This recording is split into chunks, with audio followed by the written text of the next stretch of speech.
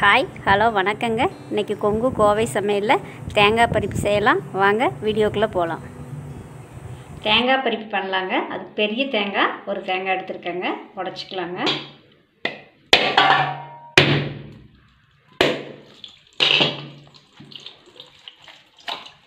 இந்த மாதிரி பெரிய தேங்காய் எடுத்துக்கலாங்க.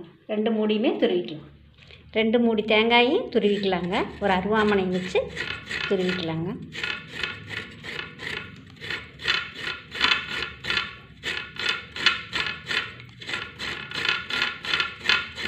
துருவன தேங்காய் இந்த கப்பில் ரெண்டு கப்பு எடுத்துக்கலாங்க. ஒரு ரெண்டு நிமிஷம் வணக்கிக்கலாங்க. ரெண்டு நிமிஷம் நல்லா வணக்கி விட்டுக்கலாங்க. அடி பிடிக்காமல் வணக்கி விட்டுக்கோங்க. கலர் மாறாங்க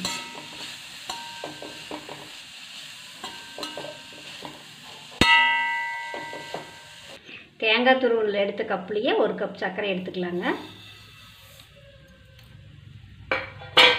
மூணு டீஸ்பூன் பால் ஊற்றிக்கலாங்க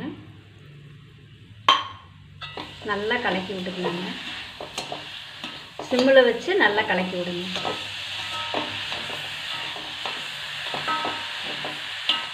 தேங்காய் வணங்குறதுக்குள்ளே நெய்யில் முந்திரி பருப்பு எடுத்துக்கலாங்க ஒரு மூணு ஸ்பூன் நெய் ஊற்றி வச்சுருக்கிறேன்.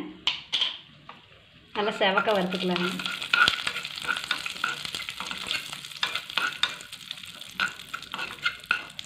முந்திரி பருப்பு செவந்து வந்துடுச்சுங்க நீ எடுத்து வச்சுக்கலாம். நல்லா வணக்கிட்டே இருக்கணுங்க. பாகு வத்த வரைக்கும் நல்லா கிளறி விட்டுட்டு பாவோடு செஞ்சு நல்லா வணங்கி இப்படி ஒட்டாமல் வந்துடுச்சு பாருங்கள் இதே கரெக்டான பதம். நாலஞ்சு ஏலக்காய் தூள் தரு போ சேர்த்துக்கலாங்க.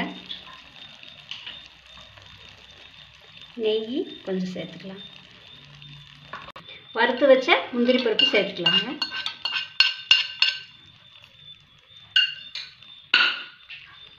நல்லா கலக்கி விட்டுட்டு நெய் ஊற்றி ஒரு பிளேட்டில் தொடச்சி விட்டுக்கலாங்க.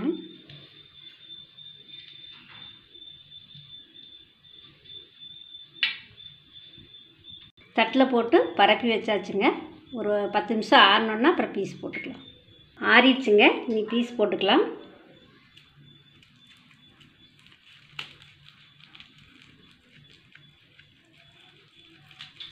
பண்ணி வச்சாச்சுங்க. ஒரு பீஸ் எடுத்து காமிக்கிற பாருங்க. சூப்பராக வந்திருக்குங்க. ரொம்ப கெட்டியாகவும் இல்லாமல் குலகலும் இல்லாமல் நல்லா வந்திருக்கு. இந்த மாதிரி நிறைய செஞ்சு ஸ்டோர் பண்ணி வச்சுக்கலாங்க.